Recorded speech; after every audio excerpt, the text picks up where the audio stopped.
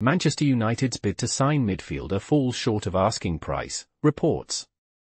Manchester United's bid to sign Burnley's Sander Berge has fallen short of the £30 million asking price. United have signed several players this summer but are still looking to bolster their midfield. Scott McTominay is expected to leave, with Napoli interested.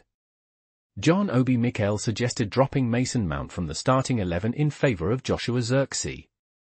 Mount joined United from Chelsea last summer but has struggled with injuries. Please subscribe to my channel.